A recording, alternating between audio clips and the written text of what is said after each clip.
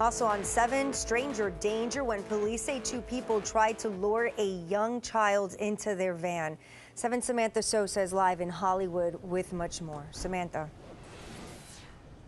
Well, Alex, police describe the attempt as aggressive. As you said, they say that they tried to get that little girl into a van, and that van was caught on video.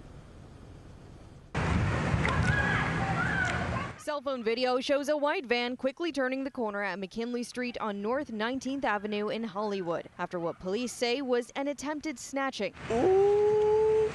Ella Miss Tersano. 31 year old Tiana Tersano, along with 34 year old Michael Diaz, now facing serious charges, accused of trying to lure a nine year old girl into that van Friday afternoon. Neighbors feeling uneasy. It's a pretty sad situation that we cannot feel safe in our own environment. According to the police report, the girl apparently did feel safe at the time, playing outside with her dad nearby. The report says the girl's father witnessed the van pull in front of the yard and watched Tersano exit the vehicle and approach the girl. When the father intervened, she approached him and spat in his face, then struck him with a closed fist. He hit her back. They punched her in the face. Police say a man at this stop sign across the street saw the whole thing and heard Michael Diaz say, Get the expletive kid. The couple took off and headed north, police finding them soon after near this CVS pharmacy.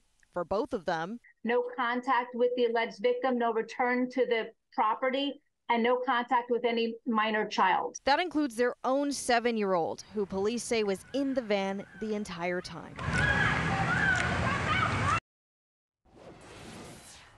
Well, we're told that that seven year old is now in protective custody. As for the little girl in all this, we're told she's doing okay. That couple could not be reached for comment. We're reporting live from Hollywood this afternoon. Samantha Sosa, 7 News.